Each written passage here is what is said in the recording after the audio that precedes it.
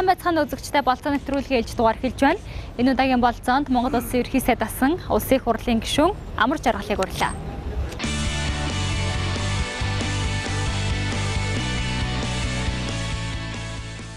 Өдрийн мэндийг хүргэе сайхан аварч чинь үү?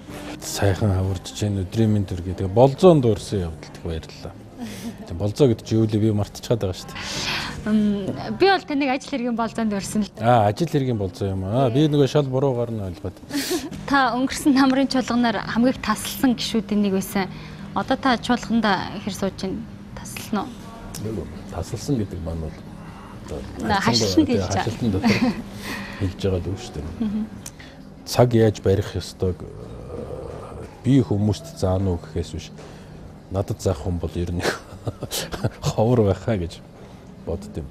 Парламентын үйл ажиллагаа маань жигдрэх учиртай юм.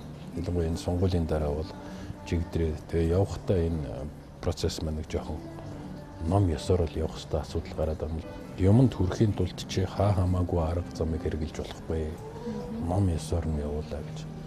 Сонгуульд явж чад гарч ирж чад тэгээд тэр нэг өөрийнхөө нэг хүсэл зориг төр элдв ямыг үйлчлүүлэхийн тулд бол байгаа хууль дүрмийг бүгдийг нь одоо уландаа гიშгээд яваад аж болохгүй тэр утгаараа би өнөөдөр өөрийнхөө намын бас удирдлагатай ач гэх юм уу бүлэгтэй бас зарим нэг юм дээр бол санал нийлэхгүй л байгаа юм л да. Тэрийг л одоо илэрхийлж байгаа л хэлбэр шүү дээ. Улсын их хурлын үйл ажиллагаанд дотор ч гэсэн бас хууль зөрчсөн тийм үйл ажиллагаа бол тэрийг одоо би бас илэрхийлж эсэргүүцэж байгаа нэг хэлбэр юм л да. Та сонгуулийн дараа улсын хурлын дарга болъё гэдэг саналаа намынхаа даргаас тавьсан гэж ирсэн. Сая улсын хурлын дэд даргын асуудал ганцхан ганцхан саяч биш би ер нь энэ хүсэлтээ бол 2004 оноос тавьсан юм байна. 2004 онд чинь сонгуул болоод бас гараад ирсэн шүү дээ. Тэгээ тэр үеэс л би ер нь би ер нь ямар нэгэн нэг тийм илүүдтэй юм өсөхгүй шүү. Би ганцхан юм хүсэж байгаа. Тэгэл болоо. Гэхдээ миний нэг зам байт юм. Би нэг хүсэлт гаргаж чаа тэгээ тэрийг нэг гуйгаал говшаал ардаас нь явдггүй чи намайг дэмжээж гээл одоо нөгөө 30 40 хүн дээр очиод дэмжиж чалдаа би чамайг дэгүүлдэг чи намайг ингүүлэг гэж хэлээ. Би зүгээр л хэлчихдэг. Надад нэг юм өсөлт байгаа. Энэ дээр бол одоо би илүү их өөрийгөө илэрхийлж чадна гэж бодож байна. Аа үр дүнтэй ажиллаж чадна гэж бодож байна гэж. Тэгэл илэрхийлж чадаа. Тэгээд болно уу болохгүй байна уу тэр бол одоо тэгэл өстой дарга нарын асуудал шүү дээ. Тийм ээ. Тэрнээс надад бол би бол өөрийнхөө өөрийгөө гэж гэсэн би хэлэх юм хэлсэн өсөлтөө илэрхийлсэн. Энэ ажил дээр бол би өөрийгөө илүү их илэрхийлж чадна. Энэ ажил дээр байх юм бол би энэ намдч дээр энэ нийгэмч дээр одоо улс төрдөн ч юм юунд ч төр улс орнд юм илүү их үр дүнтэй ажиллаж чадна гэдгийг хэлж байгаа байхгүй. Тэрнээс өөр албан тушаалууд надад бол нэг сонирхолтой биш байна л да. Яг гэвэл би ямар үзээгүй биш, мэдэхгүй биш. Бус юм дээр нь бусад хүмүүс ажиллана вэ, өөрсдөө харуулна вэ, өсөж өндийн вэ гэж бодож байгаа. А улсын их хурлын дэд даргын албан тушаалын хувьд бол энэ албан тушаалыг би албан тушаалын хувьд бол хизээч тоож байгаагүй. Тэ. Ажлынх нь хувьд аваад үзэх юм бол миний сонирхол татах юм бол тэнд үнэхээр байхгүй. Тийм учраас бол би ердөө дэрнээс их хол яваа. Тий, тэд дарагт дэвших магадaltaй хүмүүсийн нэрсэн чагсаалтанд таны нэр яригдаад ирсэн. Та бол өөрөө огт сонирхоогүй юм байна. Би бол өөрөө огт сонирхоогүй.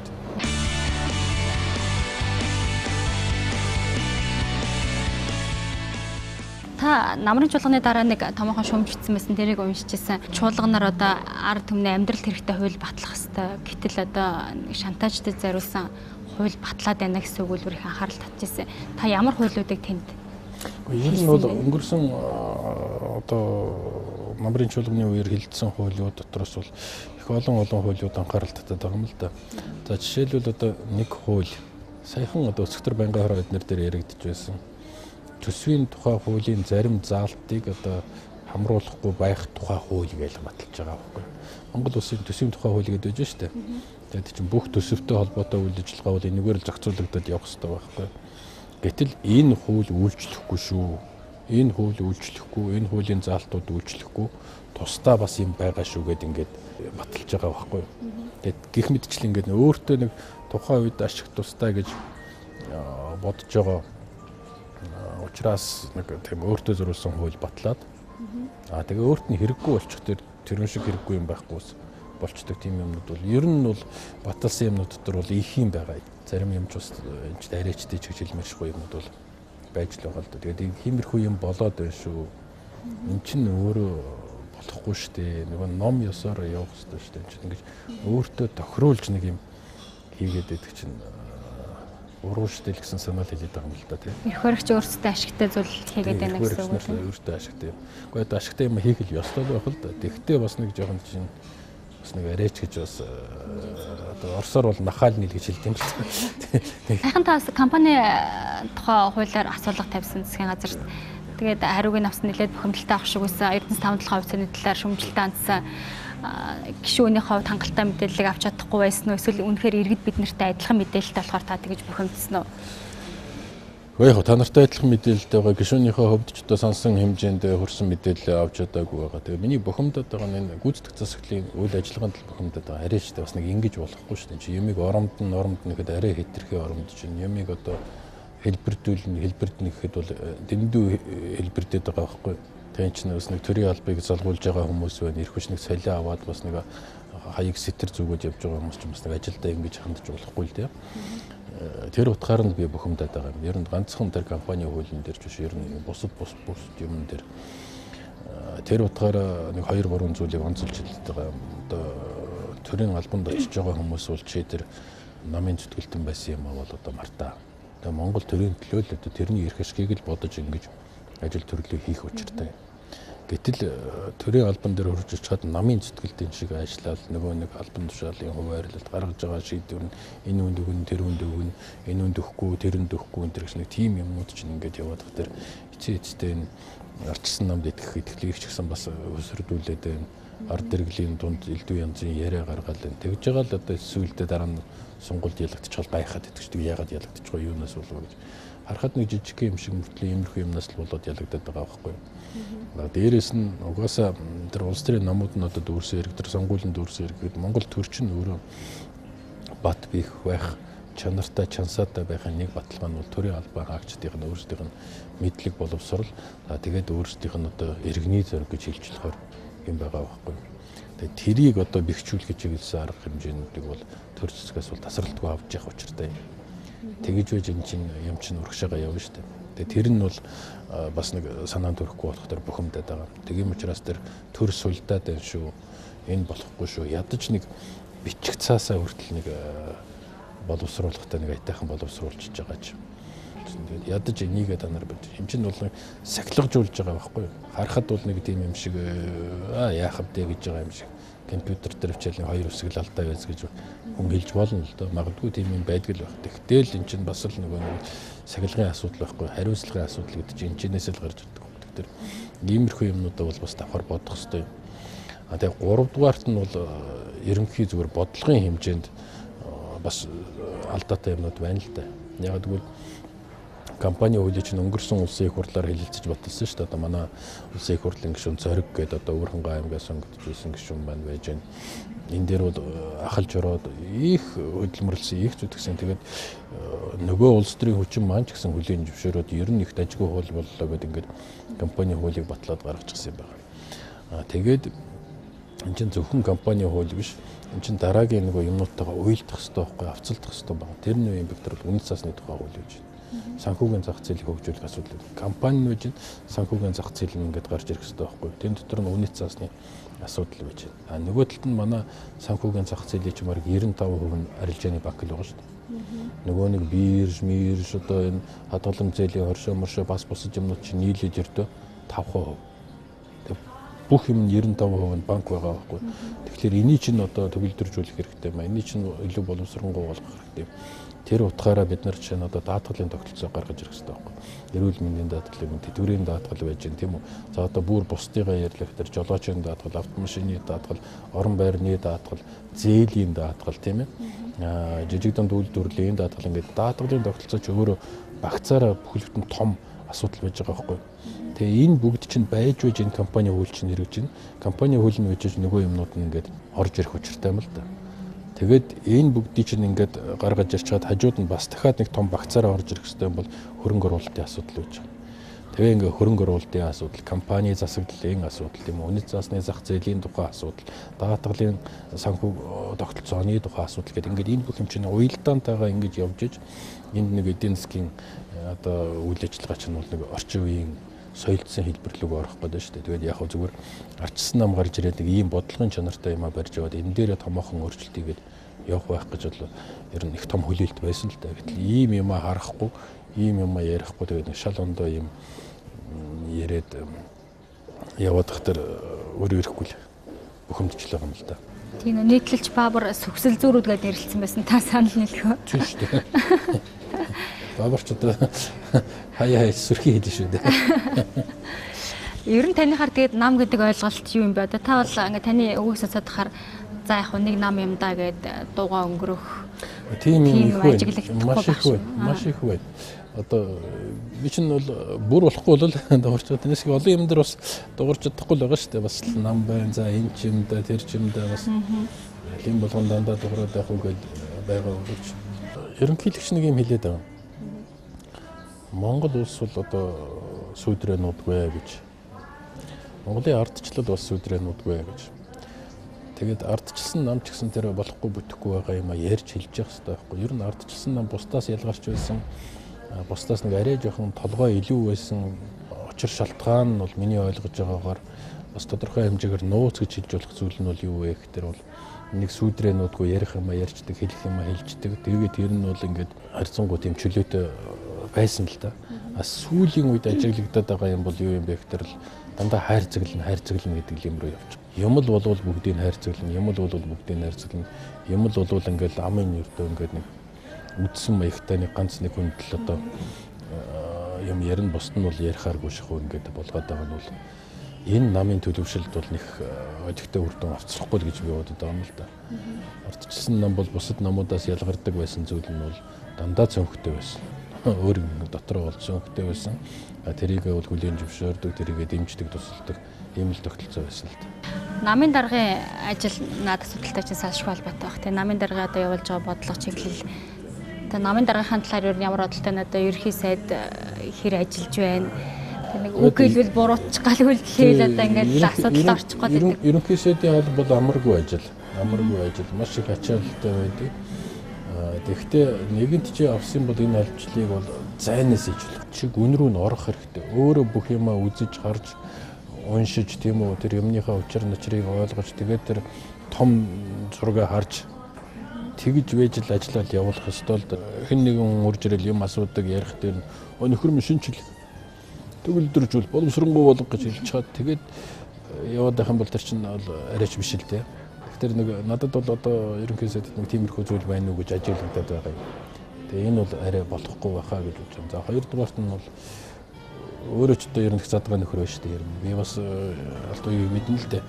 Э, Нилээн гайгүй чамбай байх гэж утсан чинь санаатаа тэгээд байгаа юм уу эсвэл ягаад байгаа нэг л их задгаал яваад байх юм. Задгаа цагаан гэ нэртэй болчихсон байна. Тийм болчихлоо. Тэгээд э, тэр маань бас нэг улс төрийн нөгөө оппоненттай бол нөхдүүдтэй өрсөлдөгч нартай бас ийд шүгээд байна л да.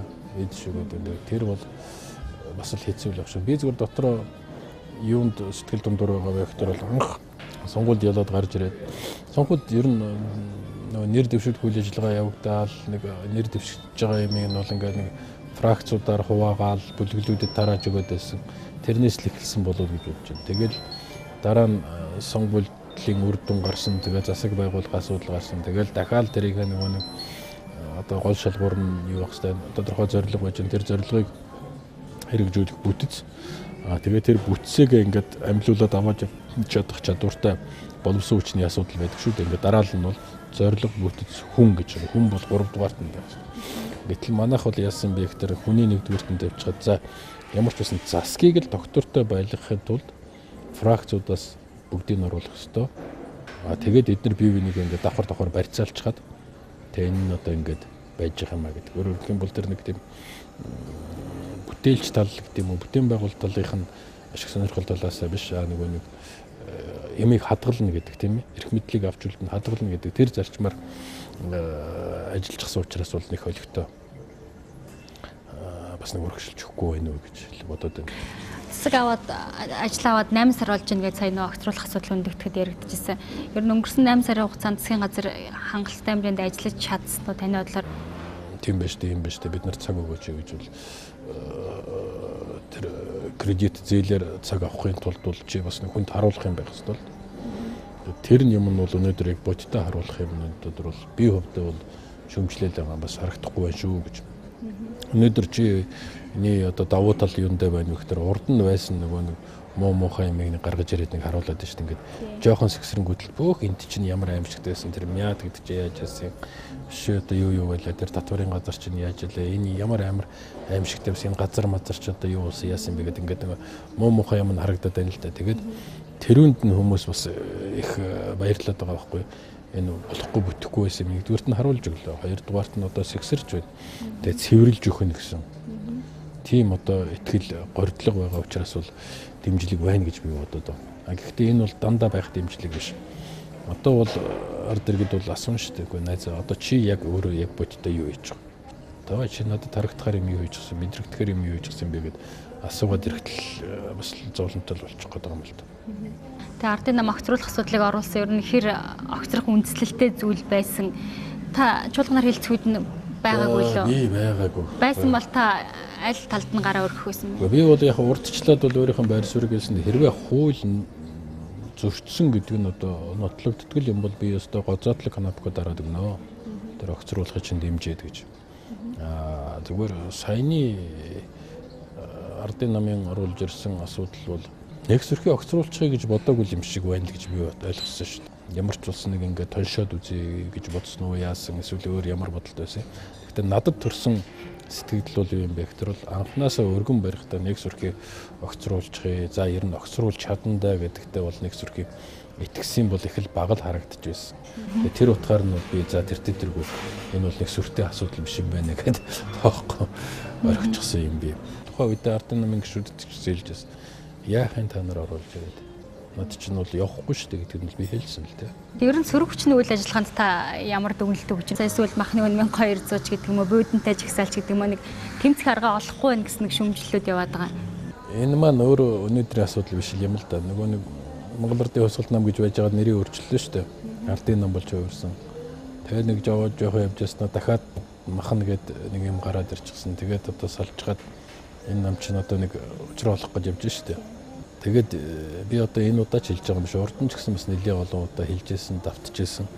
Энэ процесс бол суух суух босгын одоо хүрээнд шийдэгдчихдэг асуудал биш ээ. Нэлээд хугацаа шаад. Хамгийн багаар бодоход 3-4 жил.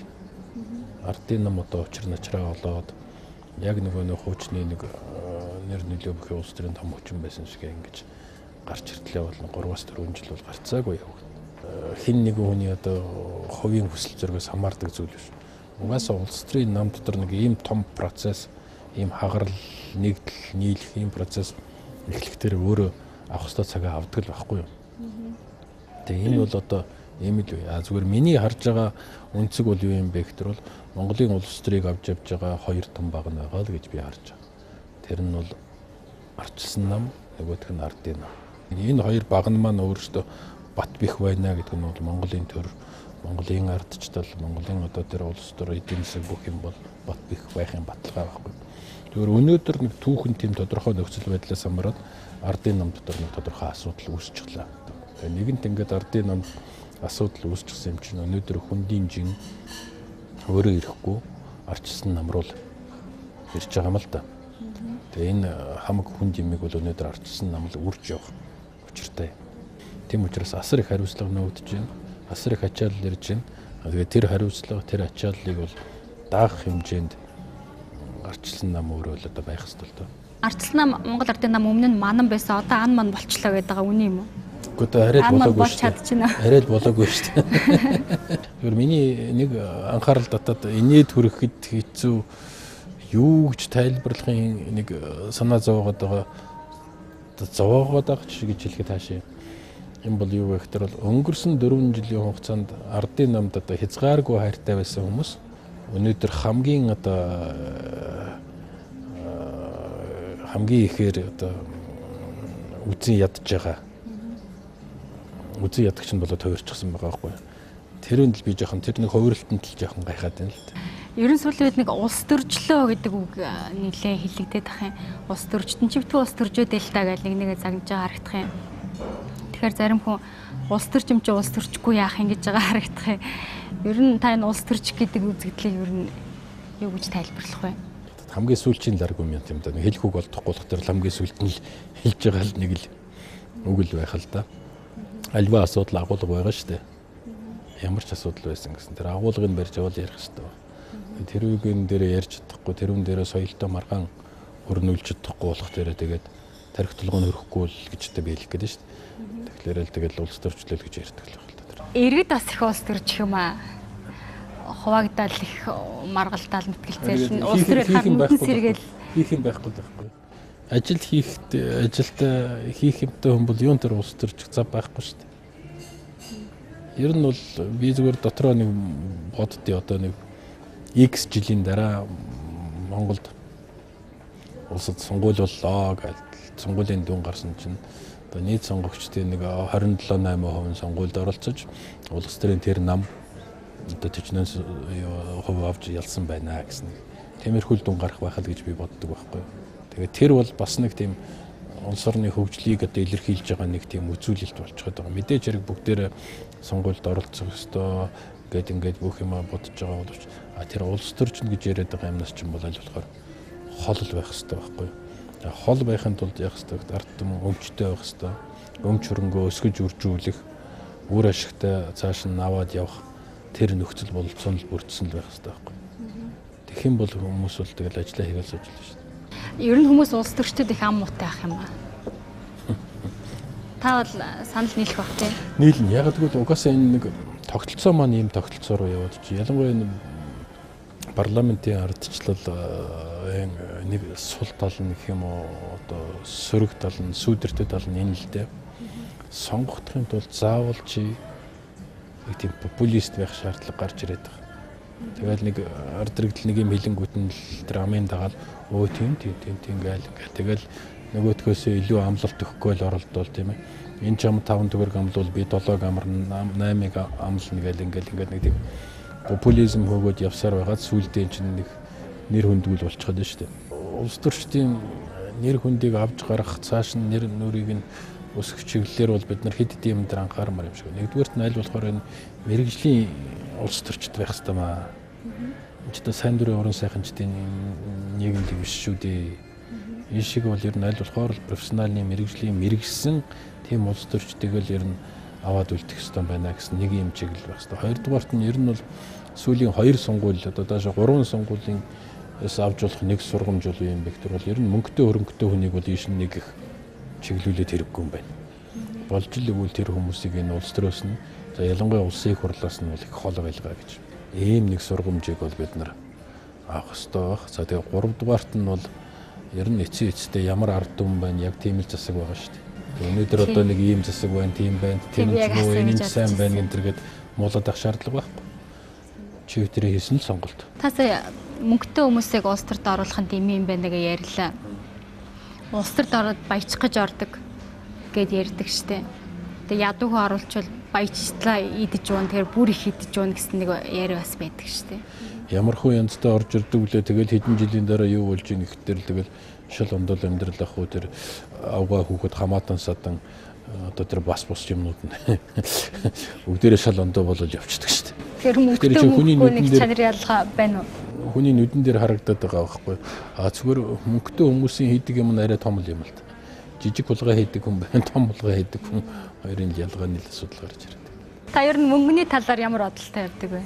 Мөнгө гэдэг юмны ач холбогдлыг бол их зөв ойлгож зөв явах хэрэгтэй мал гэж би бодд юм. Аа зөвхөн Монгол улсын мөнгө мөнгө одоо төгрөг гэдэг юм талаас нь аваад үзэх юм бол надад нэг тийм мөрөөдөл байд юм. Одоо бас бараг 20 хэдэн жилийн өмнө би 23 жилийн өмнө бичижсэн л да. Хизээ нэгэн зэгт Монгол улсын мөнгөнд тэмдэгт төгрөг дэлхийн одоо хамгийн үнэтэй валют болж хувирна да гэж одоо эзэн нэгэн зөв тийм цаг ирэндэ гэж мөрөөдөж явдаг шүү дээ. Тэгээ миний одоо хийж байгаа бүтээж байгаа ярьж байгаа юмнууд мал үндэсний амханд энэрүүл чиглээд идэв шүү дээ. Хой хүнийхээ талаас мөнгөний эргэлэнд яаж ханддаг вэ? Би нэг мөнгөний боол биш.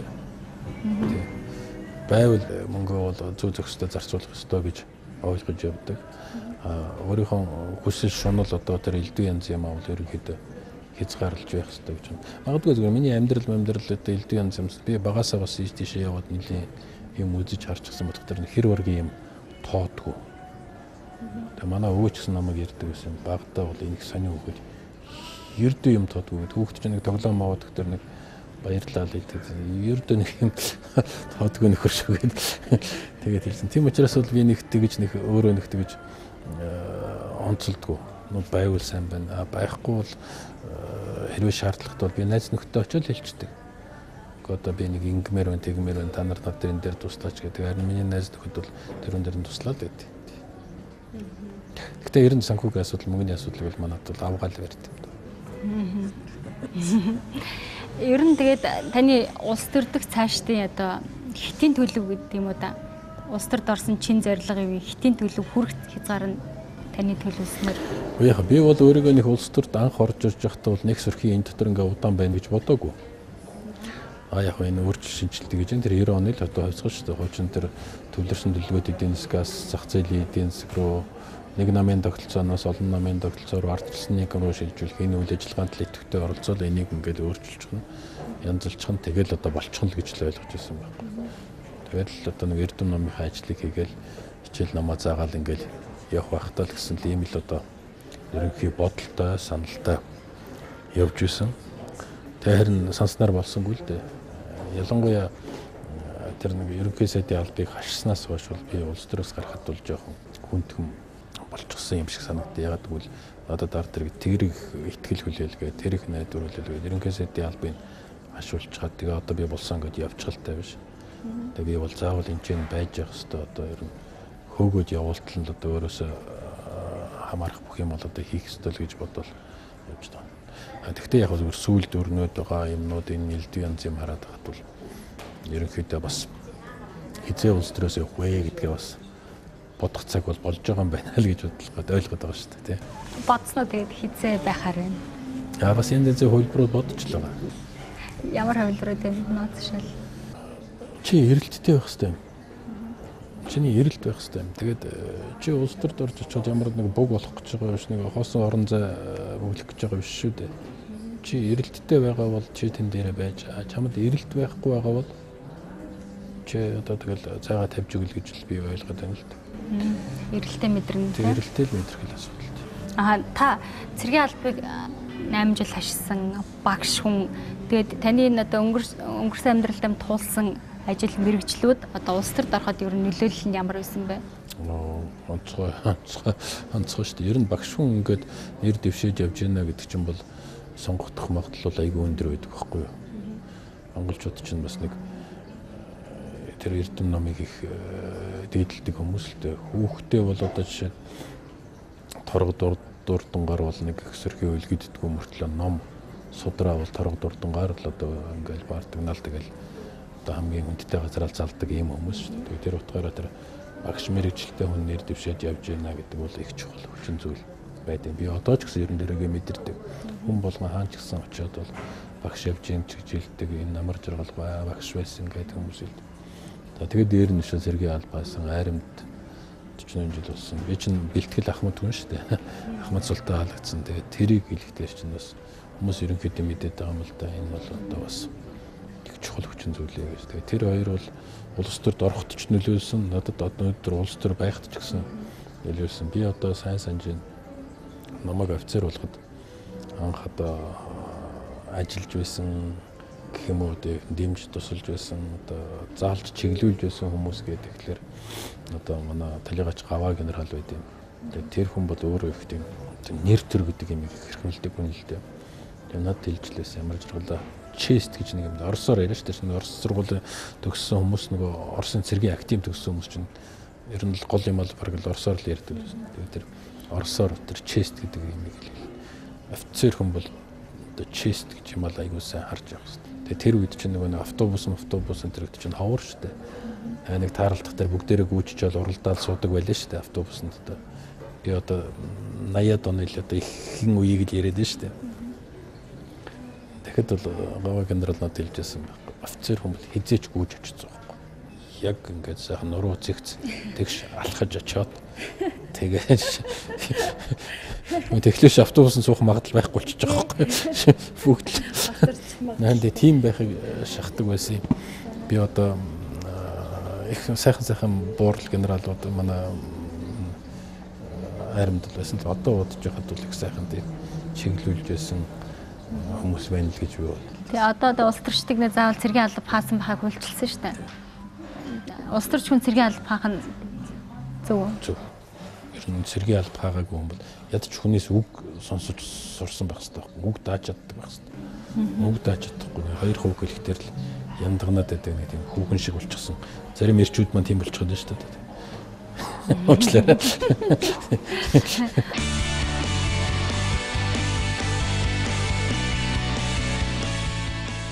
Ярилцаг өндөрлөгдөг чинь би таньнаас төгсгөлдөн өнөөгийн эдийн засгийн холбоотой асуултуудыг асууя. Тэгээд төсвийн доктортой байдлын тухай хуулиар төсвийн алдагдлал 2% байна гэж заасан байгаа. Гэтэл одоо 7% байна гэсэн мэдээлэл байна л да. Та энэ асуудлыг юу гэж харж байна? Одоо тодтгол хийгдээд эхлэхээр одоо алдагдал нь бүр их өснөө гэсэн нэг прогноз байгаад тах шиг байна. Тийм. А дээрэс нь төсвийн гадуурх байгаа мөнгөнийг оруулах юм бол хөгжлийн банкны мөнгө байдаг байгаа. Энэ Монгол банкнаас гаргаж байгаа тэр нэг үнийг докторжуулах хөтөлбөр гээд нэг 7800-аад тэрбум төгрөгийн асуудал байж байгаа. За дээрээс нь тэр нэг бондын асуудал мэт ингээд ороод ирэх юм бол төсвийн алдагдлын 7 ч биш бүр 13 4% рүү хүрэх магадлал байж байгаа. Тэгээ хэрвээ яг энэ дээр тулаад ингээд ирэх юм бол энэ бол ерөндөө туйлын төгшүүртэй туйлын төгшүүртэй юм байж байгаа. Хоёр гурван зүйл айгүй тодорхойлогдод байгаа. Төсөв ягаад алдагдaltaй болсон бэ гэж. За нэгдүгürt нь орлогоо бол худлаад татсан. Хоёрдугаарт нь болохоор зарлах тал дээр хэрээсээ хитэрчихсэн юмнууд авчихсан. Чи өөрөө хийж чадахгүй бие бие тутгаараа хийж чадахгүй юмнуудыг бол маш их тавьчихсан. Нэг том юм бол үр ашигын тухай асуудал төсвийн мөнгийг үр ашигтай зарж чадахгүй юу гэдэг асуудал өнөөдөр хамгийн тулгамтай асуудал байна. Санхүүжилт бол хийгдэх юм байна. Яаж иж яагаад мөнгө бол орж ирэх юм байна л да зөв өнөө маргааштай биш юм гэхдээ ерөнхий динамикийн хувьд бол хандлагын хувьд бол улсын төсвийн орлого бол нэмэгдээ тэр элдв янзын орлогын их усрууд бол байх юм шиг байна. Тэгээд тэр мөнгө орж ирэх юм. За тэр мөнгөө зарцуулах хэрэгтэй бол зарцуулахдаа бид нэр хэр үр ашигтай зарцуулах вэ гэдэг асуудал гарч иж байгаа. Тэгээ энэ бол хамгийн том асуудал. Миний ойлгож байгаа бол энэ үр ашигтай зарцуулах тал дээр бол бид нар бол ёстой нойл байна. Тэр нэг 50 миллиардыг хуваарлах тухай асуудал дээр ярьж байгаад би сайхан бэлгээс асуусан л дээ. Энэ доо чинь яаж гарч ирсэн бэ гэдэг. Яг та эхлээд нэг бүдүүн тойм тоймоор нэг юм тоо тавьчихдаг шүү дээ. Тэгэл гүйцэтгэлээр нь дараа нь учрыг олдог үстэл гэж хариулж юм л. Тэгээд Монгол Улсын засгийн газрын гишүүн хэрэглэх газрын дарганд нэг иймэрхүүл баяр суурьтай л байгаа байхгүй. Тэгэхээр одоо бусдаас нь юу шаардах вэ? тий. А гэтэл үндсэндээ бол эн чинь эн чинь ямар өөрийнх нь мөнгө биш шүү дээ. Татвар төлөгчдийн мөнгө. Бидний мөнгийг чи бүр ширхэг дотор мөнгө мөнгөний ширхэг ширхгээр нь төгрөгийн төгрөг төгрөгөөр нь тооцож хариуцлага тооцож явах учиртай байхгүй. Дэлхийн ер нь эдийн засгийн байдал таагүй байна гэсэн мэдээллүүд яваад байдаг. Тэгээд үе үе ингээ ирээд байгаа хямралаас ер нь Монгол улс ямар хамгаалалт авсан байх хэвтэй гэдэг асуудал сөхөгдөж л байна л да. Тэгээд дэлхийн банкны тайланг харахад Монгол улсад хамгаалалт гэхэр зүйл алгаа нүрс нүрснээс хитрхийг хамааралтай байна гэсэн зүйлийг ярьсан ба. Хамгийн түрүүнд энэ мөчлөгийн эсрэг бодлого барих хэрэгтэй. Дээш юм одоо их сайхан явж гин гэж бодож байгаа бол юмаа нөөцлж явах хэрэгтэй байхгүй юу? Эзэн нэгэн цагт бас нэг болохгүй бүтэхгүй цаг ирэх шүү. Эдийн засгийн хямрал болоо шүү. Түүхий эдийн хүн уны шүү гэж бодоод тэгээд нөөцлж явах учиртай. А тэгээд эдийн засгийн уналт ингээд болоод хямрал хямрал болоод ирэх юм бол тэр нөөцлсөн юм гаргаж ирээд санхүүжилтээ хийгээд тэгээд эдийн засгийн ингээд тэнцвэржүүлээд аваад явах хэрэгтэй. Тэр энэ механизмыг л бүрдүүлэх асуудал бол нэгдүгээрт зайлшгүй хэрэгтэй гэж байна. Тэгээ энтэй уялдаа холбоотой үндэсний баялагын сан байгуулах асуудал бол бас нэг яригадаад энэ дээр бол нэг ажил төрөл бол явж байгаа гэж хэлэх гэсэн. За хоёрдугаарт нь түрүүний миний хэлээд байсан энэ макро эдийн засгийг уялдаа холбоонд нь харж үзэх юмнуудаа бол тэр нэг мэрэгжлийн ур чадвар ер нь ирэх биш байх хэрэгтэй юм шиг байна. Тэгэхгүй бол одоо ингээд сайн дурын уран сайханчд гарч ирж хад та нэг тийм зайнаас л тгий шүү ингийн шүү гэж хэлээд байгаа болчихсон. Хин хаана юун дээр очиж уйлдж байгаа юм бэ гэдгийг бол бас тэр болгон харахгүй л байна л дээ. Миний түрүүний хэлээд байгаа тэр компани тухай хууль, хөрөнгө оруулалтын асуудал, даатгалын асуудал тийм үү? Үнэт цаасны тухай асуудал байж гэн, хөрөнгөний биржийн асуудал байж гэн, төлбөр тооцооны тухай асуудал байж гэн. Тэр байтугай одоо тэр түүхий эдийн биржийн тухай асуудал хүртэл энэ дотор явж байгаа шүү дээ тийм ээ. За тэгээ бүр цааш нь ингээд ухаад үзэх юм бол нэгтлэн бодох бүртгэл түүний одоо өөрөөр бол олон улсын стандарт дээр тулгуурлын нэгэн бодох бүртгэлийн тогтолцоо энэ төр гэдэг ингээд энэ юмнууд чинь ингээд бүгд ингээд хамт байж ижил харагдчих хэвээр байхгүй. Тэгж үе чи шийдвэр гаргах учиртай. Тэгэхээр энэ бас дутагдаад байна гэж би хувьдаа ойлгоод байгаа. Тэгээ 3 дугаарт нь бол ер нь хариуцлагын асуудал байгаа шүү дээ. Чид дандаа толгойг нь хилээд яваад ич болохгүй шүү дээ. Одоо ер нь ганц хоёр хүнийг бол ер нь хариуцлага тооцож нилээн сүрхий ташуурдах цаг болчиход байгаа шүү. Би зүгээр ганцхан энэ энэ засаг дээр ярьж байгаа юм шүү. Угаасаа сүүлийн нэг 8 жил одоо 10-аад жилийг харахад бол үндсэндээ хинтээч юу ч хариуцлага тооцоогүй. Дандаа найзан дундаа явсан. 2 3 садыг дуудаа шуудаа сайхан хусаад өгөхөд бол манайхан чи бас цагт болох төр болчихгоор хүмүүс шүү дээ. Гоцоогоо хаал зогсоод ирнэ. Тэгэн оол ирнэ. За ямар сайд нар байна? Сэтгэл дундуур байгаа сайд нар бол байгаа зүгээр би үнэхээр нэрлэмэргүй. Тэр төдрөг хүмүүс мэдчихлээ байгаа юм чинь. Монгол Улсын эдийн засаг 13% өсөлттэй байна гэдэл яриад идэг. Тэгээ Монголын нөхцөлд тэр нар дэрэгдэд мэдрэгдэхгүй гэж тайлбарлаад байгаа юм. Уг нь бид нар чинь тэгээ тэр өсөлтийн сайхан юм мэдэрчмээр байгаа юм. Яаж хүрсэнд болгох юм бэ? Би мэдрээд байж тэгш нэг дарга нар нь тэгж байгаа байхгүй тий. Би бол мэдрээд байна. Дарга нар бол мэдрээд байх шиг байна. Ард дэрэгдээ очиод уулзах тэр бол сая би одоо сонгогч нартайгаа уулзсан л да нэг чуулганы завсралгаанаар 10 хороонд очиж уулзалт хийсэн. Тэгээд нэг уулзалт бол 3 3 цаг гаруул одоо уулзалт хийж байгаа. Ард иргэд үнэхээр л одоо сансан бодсон юм байна. Ялангуяа чинь одоо нөөцийн багтай холбоотой асуудал бол маш их яригдж байсан. Гурилтай холбоотой асуудал яригдж байсан. За тэгэл хүн сурдлын асуудал тэр нэг зөвшөөрлийн асуудлууд асуудлууд эдгээр бол маш их яригдж л байна л та. Тэгээд нөгөө нэг гайхамшигтай эдийн засгийн өсөлт маань л одоо ард иргэд дээр очихгүй байна гэдэг нь бол маш тодорхой харагдаад байгаа байхгүй. Тэгэхээр манай энд нэг нийгмийн баялагийг хуваарлдаг механизм л өөрөө нэг л үйлчилж өгөхгүй л байна л да. Өнөөдөр илүү мэдээлэлтэй хүн хамгийн түрүүнд лимиг хүртээд байна шүү дээ. Хэдэн мэдээлэлтэй хүн гэдэг чинь ямар хүн бэ гэхээр бол энэ эрх барьж байгаа энэ коридор дотор л одоо үд хаалгын онгоолгоод ороод авах чадaltaй хүн байж тарах гэдэг шүү дээ. За төгсгөлд нь төсвийг төсвийн нөөц бүрдэх бололцоо ер нь энэ жилийн хэр харагдчих. Нүүрсний үн экспорт буурсан гэж яригадаад байгаа. Би бол ерөнхийдөө жоохон пессимист прогноз хийгээд байгаа.